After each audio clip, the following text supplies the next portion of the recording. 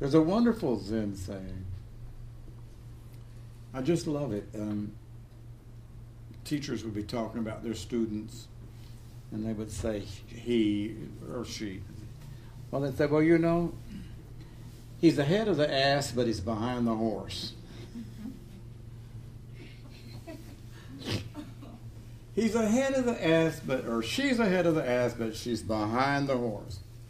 Now that's a wonderful saying. You're waiting for me to explain it. You are. In a, in a way, the the description, like a teacher talking about a student, saying, you know, she's she's ahead of the ass but behind the horse. That actually would be the teacher would be saying that they're pretty developed, right? I mean, at least they're in front of the, right there. They're in front of the ass, so that they are really somewhat developed. Someone who is, uh, you know, the horse might represent really being much further along in your practice. So that would be like they've really made quite a bit of progress in, in their practice uh, uh, of the Dharma. To be um, in front of the ass is very good. And so I really sometimes ask myself, you know, I wonder, well, am I. as my my practice led me to at least be in front of the ass, it, even though I'm still behind the horse. So um, the um, today I went to Gelson's and spent 146 dollars, which is a lot of money for me. Well, it's a lot of money for everybody, isn't it? And Gelson's is quite expensive, but I'm I'm uh, attached to Gelson's. I like Gelson's a lot. And um, well, what is it? Whole paycheck. That one's good too. I go to Whole Foods too. But anyway, so so the reason I spent that much money at Gelson's, as some of you know, but if you were here, those of you who've been listening to my uh, few Dharma talks, uh, I haven't, I haven't been there in three weeks. So you see, that's why. So that's why I spent that much money because I've and there's not been any. This the kitchen has been bare. I mean, I was desperate last night. What did I have? I was so desperate last night. I ended up. Oh, I know. I made some popcorn. Well, that wasn't desperate. That was good. I made some popcorn with uh, with uh, melted butter, but I can't really tell Mary that because she's very focused on my diabetes. Well, and the stroke too, you know. So I mean, I mean, I, it's a double trouble for me. So, so I spent 146 dollars, uh, and uh, and that's because I haven't been there in three weeks. And, you know, so as I said, the cupboard was, I mean, it was desperate. I had some raisins and some popcorn. So anyway, uh, the reason why I haven't been there in three weeks was because I got really pissed off at Gelson's. I got I went three weeks ago. So I'm driving away from Gelson's, and I said, I will never darken their doors again. I will never go back. Right as I'm driving. Why are you laughing, Sam? I was convinced I would never go back ever again because they. Uh, I was standing at a counter for 15 minutes and they ignored me. Well, I just furious. And so that led me to this Dharma talk about see, being seen. You know, so we were talking about intimacy a few weeks ago. So I've been on this bit for a while. how we see each other and we don't see each other, and what that means. And some of you remember I was talking about the Joy Luck Club, that wonderful movie where the mother looks at her daughter and says, "I see you," which is very touching. So anyway, it, it, it, occurred to me, you know, so like I thought, so there you go. The guy, the guy who said, "I will never go back there again," just was there this morning having buying groceries. And I thought, well, those are not the same people, are they, right? There's one person who says he's never going to go again, and then this other person. And of course, that is, I think, the story of our lives, right? We're never the same person from day to day to day, or even from minute to minute to minute. So we say this, I'm not going to do this, and then we do it. So, uh, so I've been very focused on and interested in and that's what I want to just talk to you all a little bit about today. Um, it's very clear that I get very triggered. So I, so I got home with all my glasses, uh, glasses or groceries, and um, three or four bags were just full of like lots of goodies. And so then I get on the elevator and I put my shirt on and my trousers on, and I'm on the way to get here. And so, the my next door neighbor, who's a wonderful little man, Japanese, thickest accent you've ever heard in your life, just a wonderful. So I'm standing, we're standing in the elevator. So this is like the, uh, let's just say, so he's he's lived there about 14 years as I have. So so we're standing in the elevator, and I'm pushed down. And he looks at me, and I would not try to imitate his accent because it would not be, just it'd be, I'm not good at that stuff. I had a, a client who I told him a couple of weeks ago if he ever imitated me, I would kill him because he's very good. I said, if I ever hear you trying to imitate me in my accent, I said, you will be dead. So anyway, so we're getting on the elevator, and so there is uh, uh, Maury. Uh, he's a wonderful person. So he looks at me and he says, "Oh, you look so nice. Where are you going?" so I said, "Maury, I'm going the same place I've gone for the past 14 years at 3 p.m. every single day." I said, "I lead a meditation group." So he said.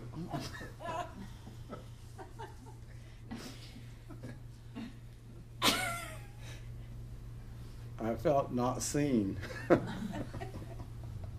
now, it wasn't that bad, you know. So, because I mean, but uh, you know, had it, you know, at another day, it could have been that bad. But I mean, I did it really with some humor.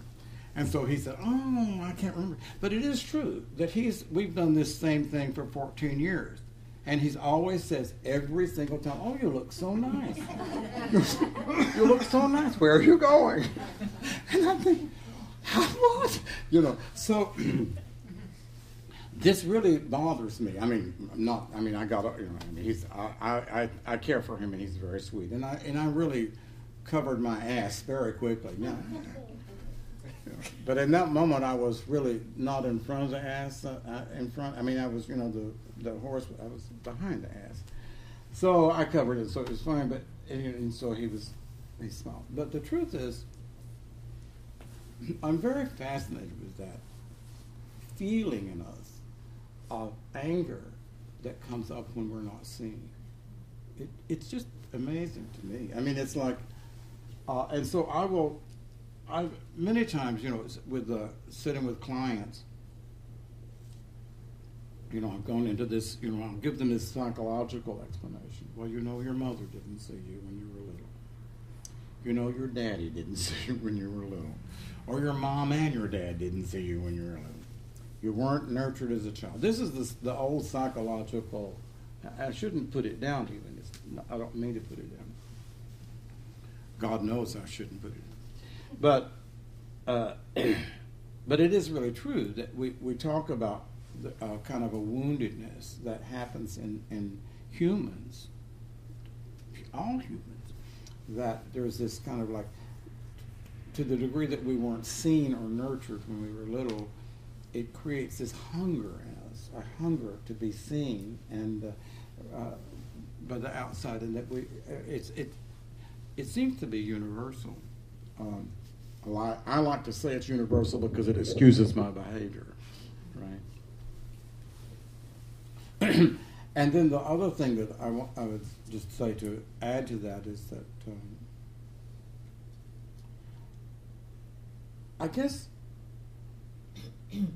I guess I would say that I'm grateful for that experience. Um, you know, even you know, like I, if I, I, can sort of march proudly along and say, "Well, I'll never go back to that store again as long as I live."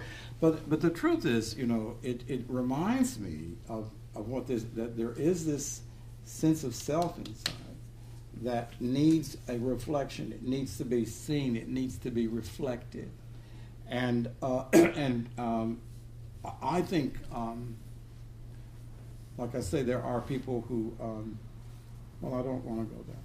There are many different ways that the injury uh, appears. And um, so, now, so this is, so now we have to, so now we have to, we're going to make a little transition here. Um, hmm, I wonder, I guess we can't make that much of a transition. So uh, I read this to you all uh, in a Dharma talk about four weeks ago. So I'm going to read it again probably.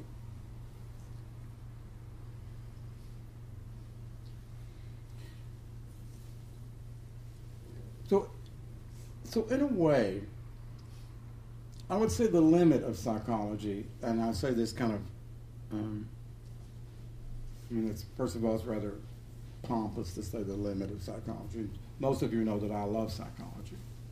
I, uh, I love it tremendously. But um, it is true that the psychology traces us back to our childhood invariably, and then then it sees our problem of uh, narcissism as something where we were not reflected when we were little. Right? We were not reflected as children, and therefore we we uh, end up with a kind of a this hunger and, and, and this narcissism. You all know the story of Narcissus. He looked in the lake and he saw his own reflection. He fell in love with it, right? That's the, the legend of Narcissus. So um, narcissism is is this. Um, well, it's it is this. Uh, you almost say that it's like the, the, the a broken mirror or the lake. It's like a person who no longer has uh, the the lake is no longer there, so they're looking for their reflection in others. I'm looking for my reflection in Teresa or in Travis. Uh, that would be uh, the uh, narcissistic wound. We um, are always looking for some reflection of ourselves in the other person. So when Maury said, "Well, you look really nice today. Where are you going?" Something in me was not felt not seen. Right? I mean, because the meditation teacher who does this, who's done this for twenty blasted years, right? And has put a shirt, nice shirt on every Sunday or something, you know. So that part, some part of me, you know, was not seen, which is so fascinating. You know, it's very sad that that would be a Buddhist teacher, which doesn't speak very well for my background or, or for my um, for my the depth of my um, practice. But it was it's fascinating to see how quickly the, it, it, triggered, and then also, as I say, I mean, it's also uh, rather um, reassuring for me that I don't get terribly confused in it. Right? I recognize it pretty quickly. Oh, oh, there it is again. That sense of self that needs to be reflected. It again. There it is. So. Um, so I go. So I wanted to say again to, uh, the. Well, I'll just add this little piece since I am exposing my ass. so I had uh, analysis with a, with a brilliant and like one of the truly great analysts of the world. Is world famous. Um, it, it has been said that he was the best dream uh, analysis, analysis or analyzer, I guess. Uh, in the world. Um, and he was the head of the Jungian Institute in New York. And with my work with him, at some point, um, through uh, quite a long period of time, I was in my late 40s when the thought occurred to me oh my God, I'm narcissistic.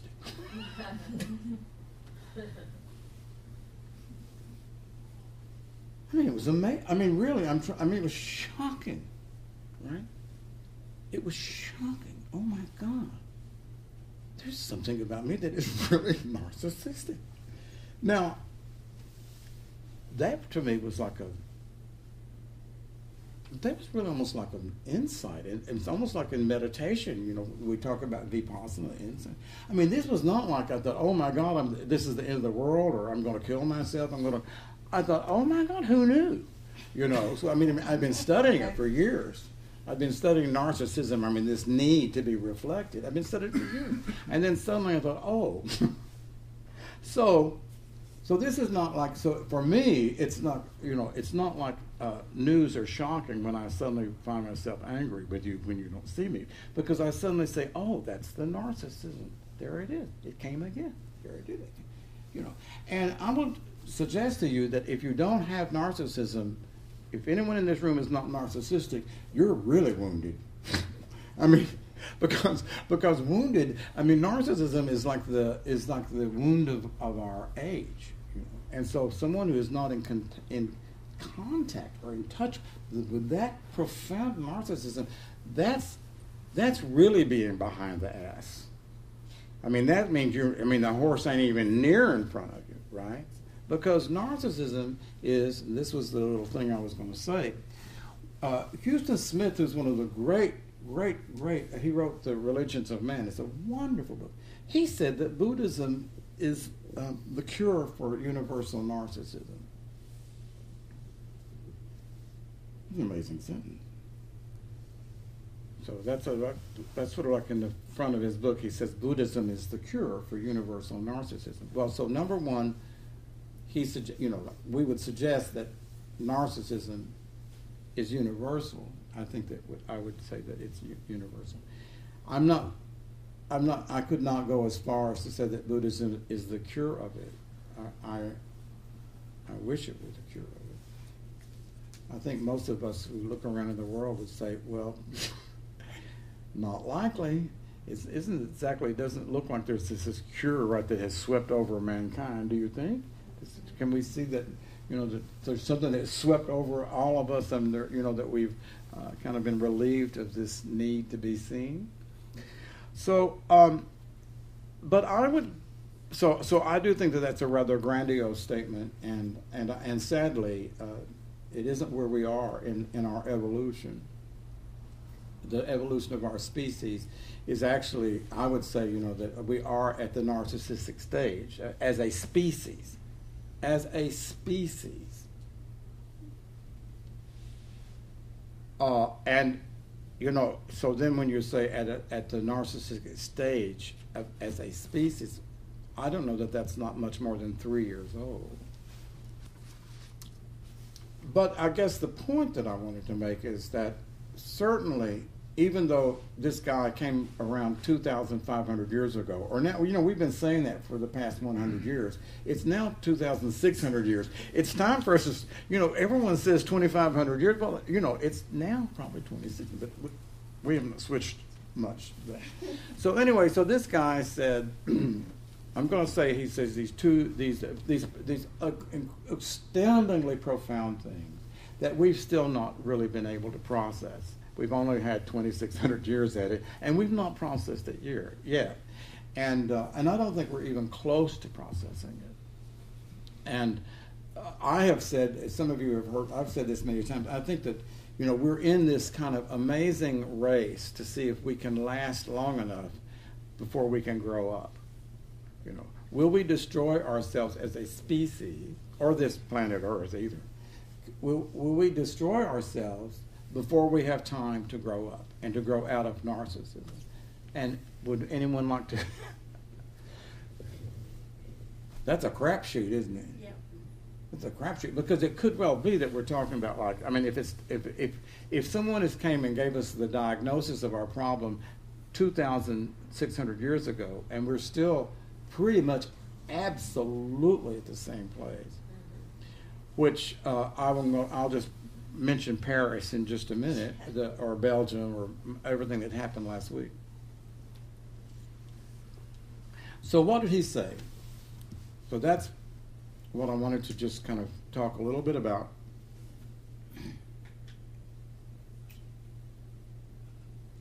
So he said that. Um, so this is not what he said, by the way. I'm just gonna. I'm just gonna putting it in my own words.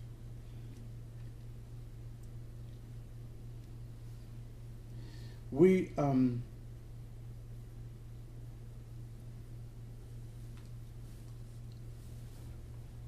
we have this tendency that the, the, the human mind reifies uh, everything. Uh, the old Chan teachers say that we make a nest out of everything. But what, so what does reify mean? Reify means we make things concrete. That are, so like we take a symbol and we we make it into something concrete. uh, I was at a seminar about 20 years ago, and I'll never forget this. It's very sweet, and I can tell this now because it's so long ago. But so I was at this seminar where we're talking about the inner child. Right? We're talking about the child that lives within, right? The inner child. That was the big thing. Bradshaw was a big thing about 20 years ago. When you were a therapist, you always talked about everybody's inner child. I mean, I did. I I love to do that.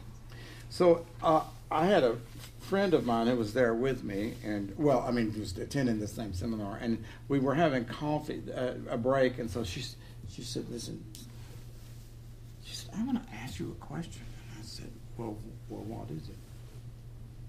She said, "This business about this inner child." I said, "Yes." She said, "Well, they're not saying there's really an inner, there's a child inside, are they?" so this was called this would be called concrete thinking, right? In other words, she, it, she couldn't get the symbol right. I mean, the, the idea of a symbol that's inside, right? It's like this inner child. So she was concretizing it, so that she was uh, imagining, uh, trying to picture like a little child that's you know that's standing somewhere inside your chest or in your head. So I said, no, no, no. I said, I think it's actually the the word inner child is supposed to be a symbol So, uh, so Jung says that. So, what is a symbol? A symbol is something that is uh, that um, will represent something uh, that is almost beyond. Uh, we can't really identify exactly. Uh, uh, you could say this is a symbol. This could be a symbol for something. And recently, someone during our fundraiser got very upset with us. I mean, really upset with us because we had made this, you know, the, the, the gauge with the, you know, with the Buddha, with the money going up. Well, we got a letter. Oh my God! I mean, they were just. I would, I would not, I would not, I don't think it's an exaggeration to say furious, because it's because it, seemed so uh, that we were being uh, blasphemous, right? And I mean, I understand. I mean, I I'm not criticizing that. So that was like the symbol had become in this person so concrete in their mind, right, that they couldn't really. The idea of you know having a, a thermometer was really right. The word that they used was was crass. A cross is a symbol, right? A Christian cross is a symbol. What is what, how do you how do you really put into words what that is, what that means, right? And um, so the um, um, Jung said part of a symbol is in the unconscious. That's that's why we can't ever really, you know, it represents something so profound in the unconscious, right? I mean, we consciously will know, you know, that what the symbol is on some level, but it also has incredible meaning. The American flag, someone burns the American flag. Some people are just furious about that. You know, someone else might not be furious, but it's what the what that flag symbolizes. Yeah? So um, we know the the uh, the uh, the cartoon of uh, of uh, Mohammed in Paris, right? We know what that caused, right? It, it caused the, the, these people to uh, incredible. That's an example of taking a symbol and reifying it. Okay, that's what that means. It takes a symbol and we've reified it into something concrete, and then you know it's like heaven forbid that you would anyway, in any way, uh, disparage it or put it down, because what you are doing in a way is you're disparaging that the person has so identified with the symbol that they are, uh, you know, they could want to destroy you for doing that. So the greatest symbol, the symbol that um, we still have not been able to really quite uh, grasp, or well, you can't grasp a symbol. But so this is back to the, what the Buddha taught, and um, for whatever reason, and there are many, many, many different explanations for why we ended up doing this, but we reify objects outside. That's Allison. We reify objects, you know, so that like even a car can become a symbol or anything outside, eh, right? And we desire that object, and we reify this something inside called a self we reify a self. You know, there's there's this. The self is actually the ultimate symbol. In fact, according to the Buddha. we reify this self, and then we and then we become attached to it. Okay, so we become attached to this me, this, and it's actually nothing but a symbol. It's a self. You know, what is a self? So we, we, we, are, we, we are attached to it, and then we will do anything in the world to protect it. To some extent, what you can see about, you know, like the, in, in Paris, the, uh, the terrorists are attacking something that they think is attacking them, that's trying to destroy them, their senses. It's actually coming from that reified self inside. That's what it is. So here's the problem. And so this is the real problem of like, uh, again, back to, uh, so, uh, you know, so Maury looks at me and says, well, you look very nice. Where are you going? Right. So I think, oh. the Buddha suggests that there is no, there is, the self is transparent. It's not solid. There's no solid self inside. Right? There's no real me. There's no real Travis. It's an accumulation of memories and desire. Now, let's just pretend that. So he says that that's what you know. What this is all. Let's pretend that he's correct. That you're sitting there attached to a self that doesn't exist. think about that. Just think that you're sitting there attached to a self that does not exist. Is that not going to make you feel a little nervous and anxious? Right? Just think about it. You know, this thing where people are talking about existential angst. The absence of a solid self, right, if that's reality, which the Buddha said, he says there is no you inside. And so then, if, if you're not really connected to that, you're going to be relentlessly defended against experiencing it, and you're going to be doing, you know, you and I, we're going to be religiously and relentlessly uh, attempting to solidify that sense, to protect it, protect that sense of me over and over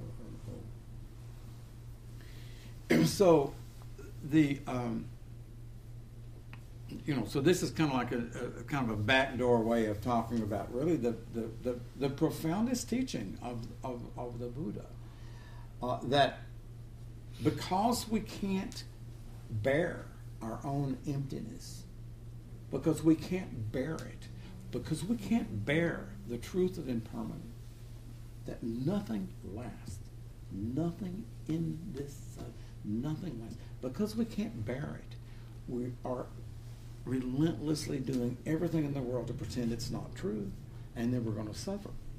We have to suffer. There's no way not to suffer. And that's really simply what, I mean, in simple terms, that's what he said. Because you can't bear your own transparency or emptiness. Number one, you're going to project, well, Victor's not transparent, right? No one thinks that this is true. So, that, so you project onto this solidity, right? And then, of course, of course, uh, like, uh, like uh, I'll be lasting forever, right? Because in case I die, then you're going to be very disappointed, right? But you see, I mean, so so we project it on the object. The other person has got to be real too, right? So you have you can't die, right? You mustn't die because that would that you know that means that you're impermanent. That you're impermanent. So just think about it. If we're living in a world where nothing is permanent, nothing lasts and we are absolutely relentlessly clinging to the fantasy that things last. I mean, oh, what? so, you know, um, that means as long as I am going to be uh, denying this reality, that means I'm going to go to Gelson's, and when they don't see me, I'm going to get very angry. I'm never going to go back there again. You know, so see, I can't even maintain that self long enough to even not, you know, I'm, you know, I mean, I was so sure that's I'm not going to go back there ever again. Those people, they ignored me, and so you know, three weeks later, I'm, I'm driving down towards PCH. I said, "Oh God, I can't wait to get back there and get those things I want." So that you know, so so that that's living proof that that self can't even last three weeks, let alone you know two minutes. So our uh, woundedness of, of, of uh, narcissism uh, actually ultimately, I would say, and the, I think the, the Buddha would say, the actual wound is that something in you knows that you're not real. Something in you knows you're not really real, and it's just unbearable. So we'll do just about everything. We, we'll get so we'll you know like you know it's like I, I mean people used to say in, in, in, when I lived in New York that I had more friends than anybody they uh, had they'd ever known.